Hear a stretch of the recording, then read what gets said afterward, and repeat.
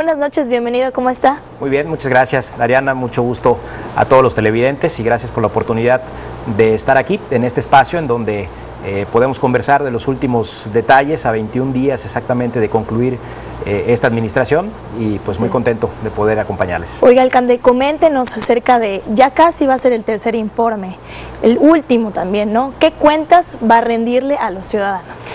Efectivamente, este eh, jueves 13 a las 10 de la mañana estaremos presentando en el Teatro José Peón Contreras el último informe de actividades también y un recuento, un balance eh, final de todo lo que ha acontecido a lo largo de estos tres años.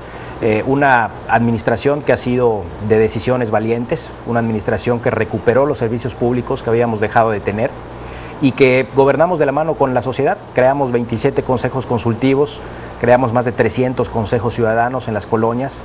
Y bueno, pues me tocó una administración de transición, de pasar del caos al orden, de la desorganización a la organización. Y hoy están sentadas las bases para que nuestra ciudad nuevamente eh, pues esté mucho mejor de lo que recibimos. En este informe, y que además hemos estado haciendo, eh, por cierto, el día de hoy, el primer preinforme, en donde estamos sectorizando la información, lo hicimos en el Colegio de Ingenieros. ¿Es para abarcar más? Sí, y para focalizar los temas, porque luego en un informe eh, constitucional que la ley nos marca que tenemos que hacer, pues son tantos los temas que lo que buscamos es adelantar eh, un poquito lo, que tiene que ver, por ejemplo, en este caso el día de hoy, con una medida ordenada, que fue el evento que tuvimos con los ingenieros. Y mañana estaremos en la Cámara de Comercio para tratar temas de desarrollo económico, de turismo, los avances, las cifras, los datos. Y desde luego el eh, miércoles estaremos en el Club Rotarios también para hablar del tema de la sociedad civil. Para el jueves eh, culminar eh, esta ronda de informes con el informe formal que tenemos que presentar en sesión solemne de Cabildo y donde tengamos que entregar también el documento que abarca toda la información de lo que hemos venido haciendo estos tres años. Mencionó que el informe es en el Teatro Peón Contreras. En el Teatro Peón Contreras. ¿Y la hora? A las 10 de la mañana. Vamos a hacer un formato eh, realmente muy sencillo. Eh, decidimos hacerlo ahí, primero por cuestiones de comodidad, segundo por ahorro presupuestal también. Y desde luego eh, invitando pues, a todos los sectores organizados de la sociedad, a los tres poderes, a alcaldes electos, alcaldes en funciones, a autoridades civiles y desde luego, por supuesto, a ciudadanos que eh, están siendo convocados para poder eh, acompañarnos a este espacio. Oye, coméntenos, ¿qué punto resaltaría de su administración?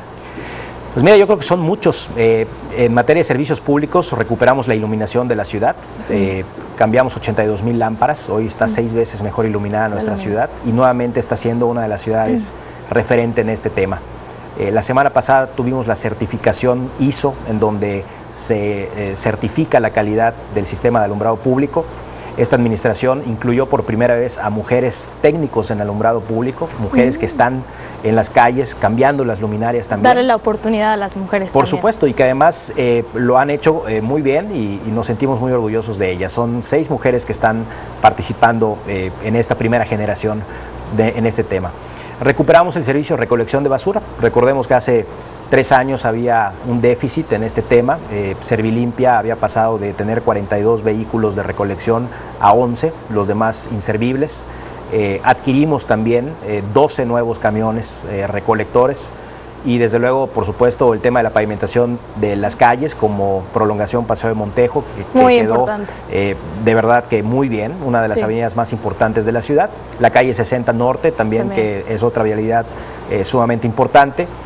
Eh, construimos también el Centro Municipal de Danza, que está en el poniente de la ciudad, la segunda etapa de Animaya, el parque acuático eh, y desde luego la remodelación de parques emblemáticos como el Alemán, eh, como la Cortés Sarmiento, como San Juanistas y como también el Parque La Rampa en Francisco de Montejo. Construimos la cancha de Fut 7 en las Américas, construimos también en el fraccionamiento Los Héroes una cancha de tenis, son cuatro canchas de tenis ahí. Y también, desde luego, remodelamos mercados como el Chembech, como eh, el mercado también del alemán y desde luego, eh, por supuesto, estaremos concluyendo el mercado más importante y la obra más compleja de esta administración, que ha sido el Lucas de Galvez y el San Benito. Y muchos otros temas en materia de turismo, en materia de cultura, yo creo que ha sido un gran acierto. La Noche Blanca, que ha sido muy bien aceptada por los meridanos. Eh, en materia de deportes también reactivamos la Liga Meridana de Béisbol con un gran éxito y una mayor afluencia. Y muchos otros temas que estaremos también presentando a lo largo de estos días para que los ciudadanos conozcan nuestro trabajo y también sepan y comparen cómo recibimos y cómo entregamos. Esto le quería preguntar ahorita que mencionó acerca del turismo. En estas vacaciones, ¿cómo está posicionado Mérida? Muy bien, estamos teniendo eh, una cantidad impresionante de, visitantes que están sorteando el calor y adaptándose, por supuesto, a las condiciones climatológicas que tenemos estos días, pero muy bien preparados. Eh, la Policía Municipal con operativos de cuidado, de seguridad. Eh, y las 24 horas. Las 24 horas y también desde luego teniendo actividades culturales. Logramos cerrar el ciclo también de actividades culturales gratuitas en el centro histórico. Eh, hay actividades eh, para que la gente pueda disfrutar, turísticas, de lunes a domingo en nuestro centro de la ciudad. Y desde luego, eh, pues somos la única ciudad en el país que cuenta con una oferta cultural gratuita todos los días de la semana. Entonces quiero preguntarle algo así para terminar. ¿Usted se va feliz? Me voy muy contento, me voy muy contento. Eh, creo que tomamos muchas decisiones, eh, muchas de ellas difíciles, complicadas, pero siempre pensando en qué es lo mejor para, para Mérida haciéndolo de manera muy profesional y también haciéndolo de la mano de la sociedad. Este ayuntamiento le abrió las puertas a todos los ciudadanos eh, y por supuesto siempre que se toman decisiones de la mano de gente de la sociedad civil con prestigio, con conocimiento, con profesionalismo, el resultado siempre es positivo. Así que me voy muy contento. Podemos decir que se logró la meta.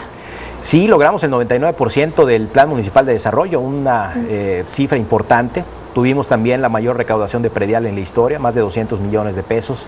Y desde luego que estaremos entregando finanzas sanas eh, con presupuestos para todos los programas, en donde los meridanos no sentirán eh, el cambio de una administración ah. eh, y que desde luego pues está sentado todo para poder ser Mérida una ciudad importante. Y desde luego muy contento porque tuvimos la oportunidad de representar y de presidir a todos los alcaldes del país. Mérida destacó a nivel nacional y a nivel internacional y creo que, yo que también es un logro eh, muy importante para todos los yucatecos. ¿Alcalde desea añadir algo más? Pues agradecerles a ustedes, agradecerles por supuesto a Grupo CIPSE que siempre eh, tuvimos las puertas abiertas, que siempre estuvieron muy pendientes de nuestras actividades, eh, informando de manera muy objetiva también cada uno de los puntos y cada uno de los temas y desde luego que me voy con, esa, con ese agradecimiento a ustedes, por supuesto a los ciudadanos con eh, esa confianza y por supuesto también con esa comprensión de poder ir gradualmente recuperando la ciudad hasta poder entregarla mucho mejor. Muchísimas gracias por habernos acompañado. Muchas gracias Ariana y muy buenas noches eh, a todos. Bueno, como usted vio esta noche nos acompañó el alcalde de Mérida, Renato